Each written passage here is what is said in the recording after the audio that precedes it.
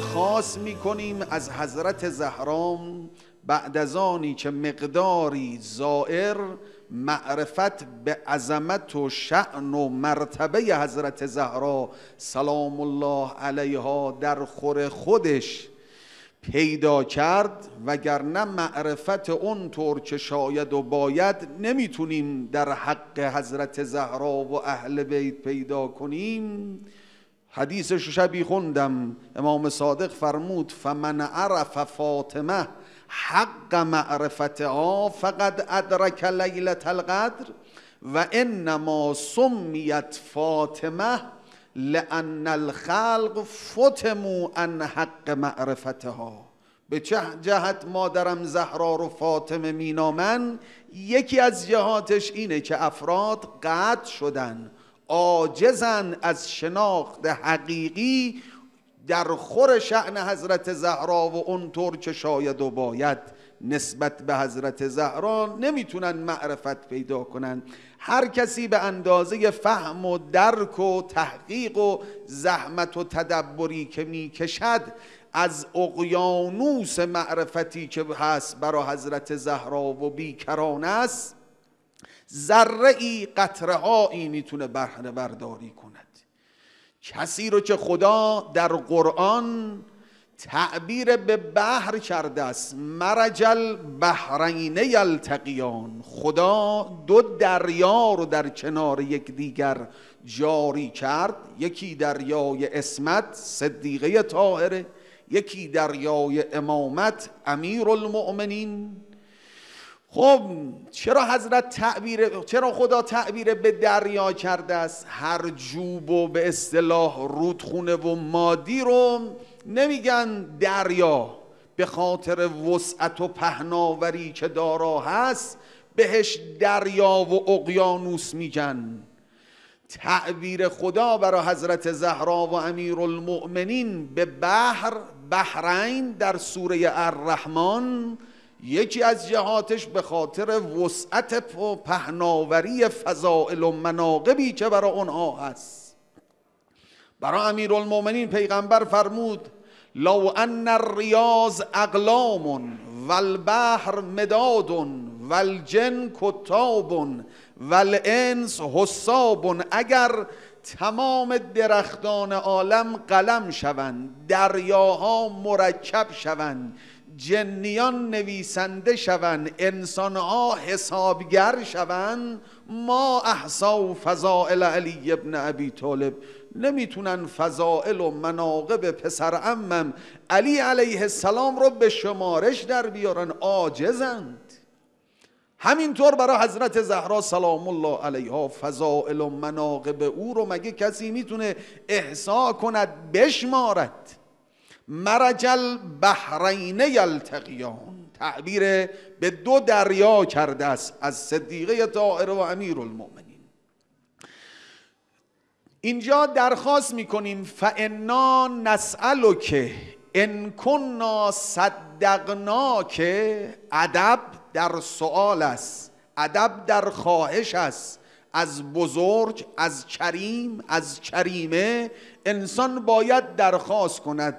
رو به هر کسی انسان نباید بزند الا به کریم و کریمه که روی انسان رو زمین نگذارد. دست رد به سینه انسان نزند.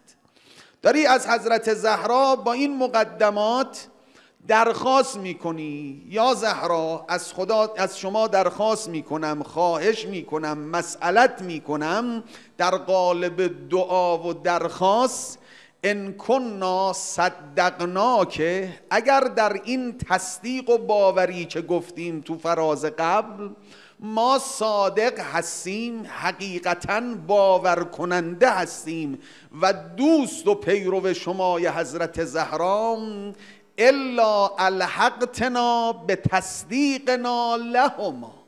این که شمای حضرت زهرا به واسطه این تصدیقمون ما رو ملحق کن به پدرت رسول خدا و شوهرت علی مرتضا یعنی واسطه به ولایت نبوی و ولایت علوی جز از راه ولایت فاطمی میسر نیست.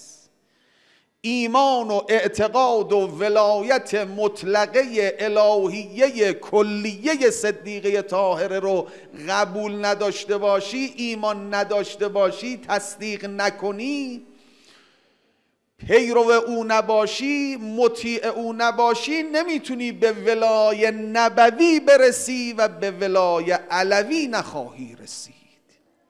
حالا شاهدها زیاد هست.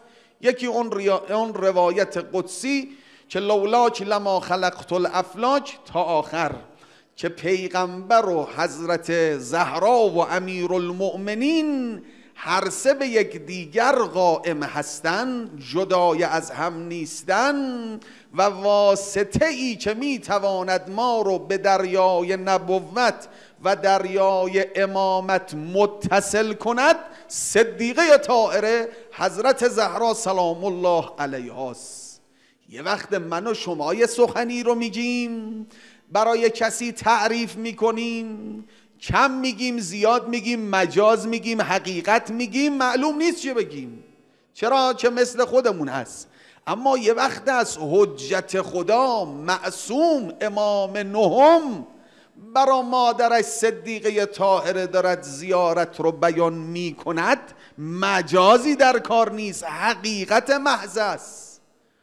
یعنی داره به گوشه ای از کرامات و عظمت مادرش حضرت زهرا سلام الله علیها ما رو آشنا می‌کنه ما رو بیدار می‌کند.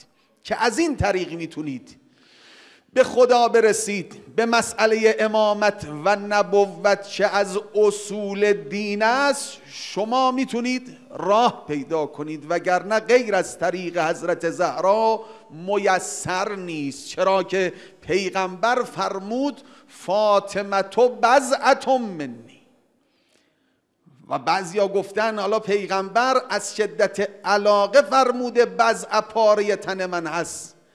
مجاز است نخیر حقیقتا زهرا پاره تن پیغمبر است. یعنی جزئی از اجزای پیغمبر است.